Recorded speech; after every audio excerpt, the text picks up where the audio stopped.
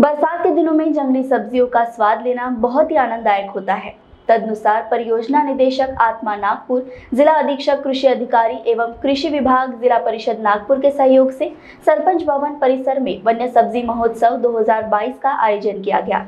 महोत्सव का उद्घाटन जिला परिषद अध्यक्ष रश्मि बर्वे ने किया। इस अवसर पर विधायक सर्वश्री सुनील केदार, राजू परवे जिला परिषद उपाध्यक्ष सुमित्रा कुमरे कृषि एवं पशुपालन अध्यक्ष तपेश्वर वैद्य, समाज कल्याण अध्यक्ष नेमावली माटे, जिला परिषद सदस्य कुंडा राउत, आत्मा परियोजना निदेशक डॉक्टर नलिनी भोयार संभागीय आयुक्त, कृषि निदेशक मिलिंद शेंडे आत्मा परियोजना के उप निदेशक प्रभाकर शिवनकर आदि उपस्थित थे। इस महोत्सव में अनेक वन्य सब्जियों को स्टॉल में रखा गया था।